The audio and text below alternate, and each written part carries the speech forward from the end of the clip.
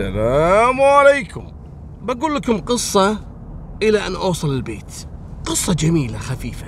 القصة هذه الله يسلمكم لفتاة نيوزيلندية اسمها مارغريت. مارغريت لما كان عام 78 كان عمرها في أول العشرينات في قمة الجمال. بنت شقرة عيون خضر جميلة. عندي لها صورة وهي كبيرة في العمر. تنصدمون تقول ما شاء الله شنو هالجمال؟ هذه مارغريت قررت مع صديقتها اسمها إليزابيث هذيك أسترالية.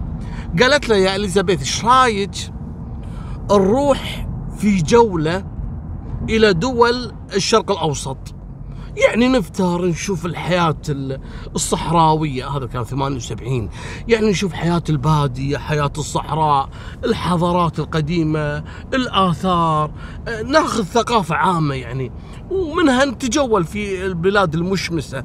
لأن تعرفون بلدانهم كلها براد وثلوج وكذا وقالت لا نبي نروح دول الشرق الأوسط نغير جو ونتعلم من ثقافات الحضارات القديمة. يعني سياح قالت له أوكي يلا جلسوا يبحثون في الخرائط والكتب يعني دول الشرق الأوسط اللي فيها حضارات. بنروح نشوفها وين؟ وقع الاختيار على أول دولة اللي هي الأردن. وبالفعل الأردن يبي يروحون إلى البتراء.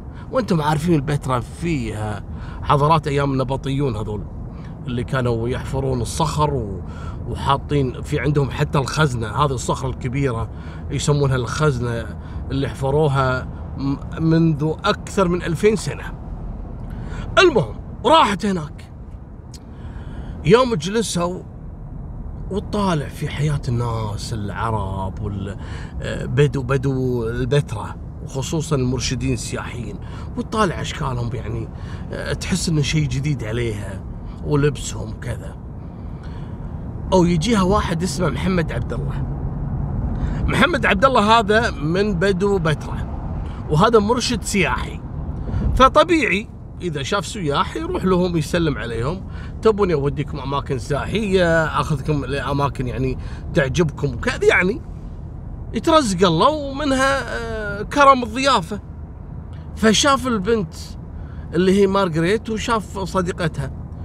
لكن مارغريت جذبته من أول ما شافها بنت جميلة ومن أجمل البنات الأجنبيات اللي مروا عليه. وتعرفون المرشدين السياحيين دائما آه، يعرفون جميع اللغات تقريبا يعني من كثر ما يمرون عليهم ويحتكون فيهم. فصار يسولف معاهم أنتم من وين؟ قالت أنا نيوزيلندية وهذه قالت أنا أسترالية. المهم يسولف وياهم يضحك وياهم تبون وين تروحون؟ كذا أوريكم. قالوا والله اليوم إحنا تعبانين. بس آه، نبي ندور سكن وإن شاء الله بكرة نبدأ جدول آه، الجولة وكذا. قال آه، وين بتلقون سكن هني بهالوقت؟ خلاص يبا تعالوا عندي ضيوف عندي في بيتي وعندي والدتي وكذا. السالفة وما فيها من البداية.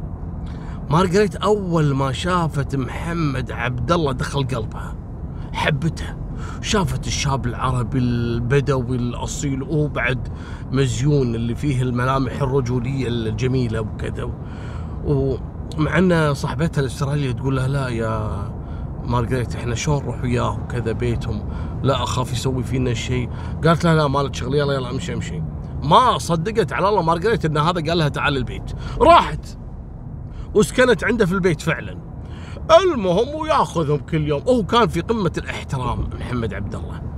لكن كان معجب فيها ومستحي وفيه الخجل يعني إنه يصارحها. لكن قال أنا مو كل وحدة تجي يعني آه، من السياح أنا قاعد أصارحها بحبي لا. فإلا هذه البنت اللي فعلا حس بانجذاب لها. فخلال جولات معاها للأماكن السياحية أول يوم ثاني يوم ثالث يوم إلى أن بطل جربه قال لها مارغريتا بعد عمري. أنا صراحة معجب فيك. قالت لا تصدق إن أنا ساحكه عليك.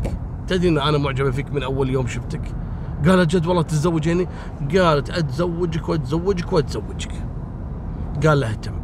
وفعلا تزوجت مارغريت محمد عبد الله وسكنت معاه وين؟ في كهف على أطراف البتراء وهو رجل ساكن طول عمره من هذول اللي يسكنون الكهوف مال الكهوف وعايش على الرعي وعايش على آه، بالصحراء يعني. وتقوم مارغريت وتكلم أهلها. طبعا هي من عائلة ثرية. أمها وأبوها يوم درب السالفة انجنوا. أنت مجنونة وشلون تسوين كذي؟ وتعالي ولا. المهم قالت والله ما تحرك من مكاني. خلاص وأنا تزوجته ولا وبغير ديني وبصير مسلمة بعد. وفعلا أسلمت. وعاشت مع محمد عبد الله. والله رزقها منه بعيال. وسنة من السنين وهذا الكلام في تقريبا عام 85 الدولة قررت الحكومة الأردنية قررت أن ينقلون البدو بدو البتراء آه، إلى قرية اسمها أم أم صيحون أعتقد اسمها كذي. انقلوهم للبيوت العادية. وانتقلت مارغريت مع زوجها محمد عبد الله وعيالها إلى هالقرية هذه. وعاشت معاه إلى عام 2002 يعني خلاص واصلا كانت مستمتعة في حياة البادية وتحلب العنز و... وتسوي السدو اللي هو البيت الشعر و... وتبيع الخزف وتبيع الآثار عاشت نفس عيشتهم ومبسوطة وكانوا أهلها كل فترة فترة يزورونها وصديقاتها وأقربائها يزورونها إلى البتراء ويحاولون يقنعونها أخاف أنت مجنونة قالت مالكم شغل فيني أنا مبسوطة وأحب محمد عبد الله وما راح أتركه. لين توفى الله يرحمه محمد عبد الله 2002 هني زعلت المسكينة.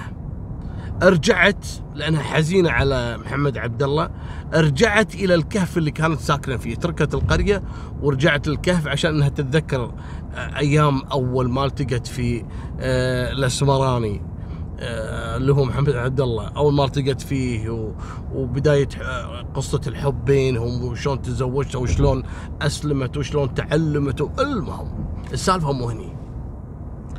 السالفة إنها بعدها بكم سنة وتنزل رواية.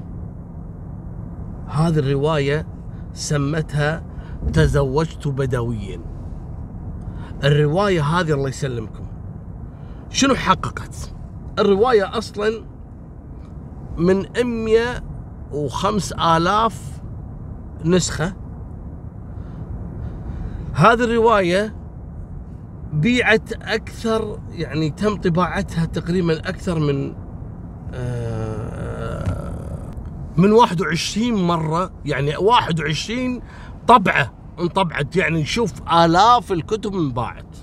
سوت ضجة الكتاب هذا اللي سوته مارغريت. هي تتكلم عن حياتها. أه تزوجت بدويا.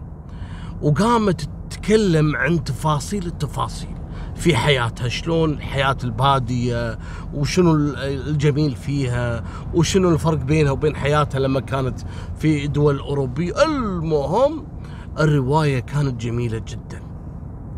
لدرجة أن بسبة هالرواية إن اليونسكو اختاروا البتراء من عجائب الدنيا السبع. حتى صار عليها تصويت في عام 2007 وحققت أكثر من 70 مليون صوت بسبة رواية مارغريت. تكلمت عن البتراء وحياة البتراء وحياة البادية ولبسهم وشلون كانوا يحطون آه، بعضهم يحط الأسنان أسنان الذهبية. وشلون كانوا يعيشون شلون كانوا يرعون شلون كانوا بسبتها أصبحت البتراء أحد المعالم المشهورة عالميا واللي تم آه، وضعها ك آه، من عجائب الدنيا السبع وكانت هذه نهاية سالفتنا الجميلة الخفيفة. وفمان الله مع السلامة.